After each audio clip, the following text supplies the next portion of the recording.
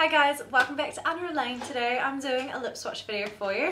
I have the entire collection vault of soft matte lip creams by NYX. So I'm going to pop these on my face so you can see how they look against my very porcelain skin. If you are new here, I have a neutral undertone that leans a little on the cool side, um, just for reference. Um, in terms of the formula, I have used a couple of these sort of in the past, way back in the day. They're kind of like a more moussey sort of liquid lipstick, so they do dry matte, but it's not like super matte.